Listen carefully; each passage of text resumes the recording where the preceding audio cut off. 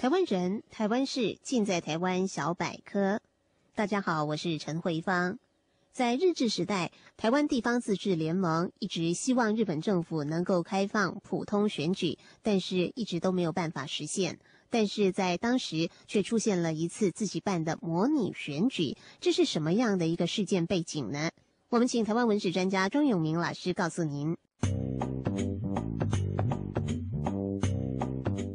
一八九五年日本人统治台湾以后，哈，呃，给台湾人啊许多的一个高压政策，让台湾人哈觉得说受一个异族的一个统治，台湾人对他的一个反抗，哈，呃，选择那种所谓的武装抗日的一个模式，哈，然后惨遭日本的一个报复，他们觉得哈。呃，这种牺牲是很无奈的，而且是很无辜的。所以说，到了一九二零年代的时候，那台湾人的视野开始啊，跟世界的所谓的弱小民族注解哈接轨的时候，台湾人就走了另一个反反日的方式。那这个反日在历史上的定位叫做非武装民主抗日运动哦。那其实这个非武装民主抗日运动的一个启发点，就是当初的台湾人啊，呃，一直要求有一个投票权哈。那这个投票权当然是从所谓的一个议会。会制度开始的，所以当初台湾人就结盟，组立成了一个运动，叫做台湾议会骑乘运动啊。那这个议会骑乘运动啊，呃。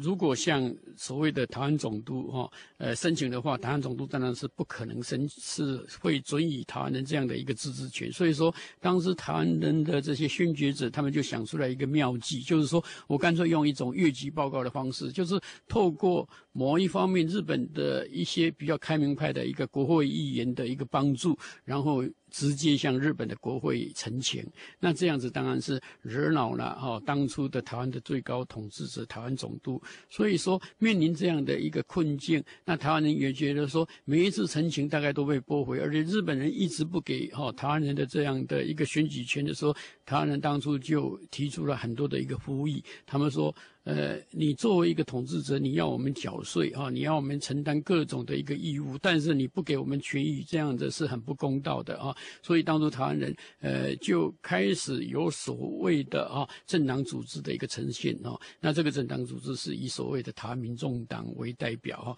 那当初的台湾民众党他走的方式是比较激烈的，所以当初又有一个次团体，所谓的台湾地方自治联盟的一个出现啊。那台湾地方联盟出现。他们主要的一个诉求就是要求选举权哈，所以他们当初就透过当初的一个民主运动的一个机关报纸，叫做《台湾新民报》哈，然后这个这个报纸哈，台湾人哦就开始办自己所谓的一个模拟选举。那这个模拟选举就是说，透过办报纸的一个版面，然后把各个候选人的政见跟他们的政治抱负哈，呃。这样子哈，呃，告知所有的一个选民，当然这个选民就是一些夜夜报纸哈，然后透过哦这些。夜报纸的一个认知，然后他们就利用报纸哈，然后刊登所谓的啊模拟选票，让他们投票，而且把当初投票的那个名次啦、得票数哈，呃，逐一的公布在报纸上。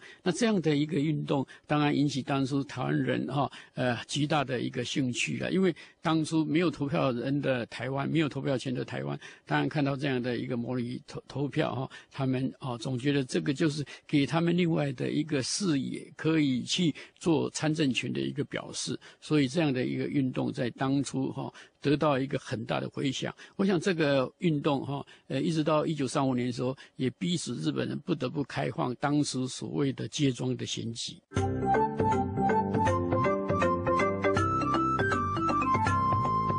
听众朋友。在日治时代，台湾民众一直无法获得选举权，因此，一九三零年，台湾新民报开始办理了模拟选举的文宣工作。到一九三一年，模拟选举正式揭晓，一共收到了选票达到十九万张。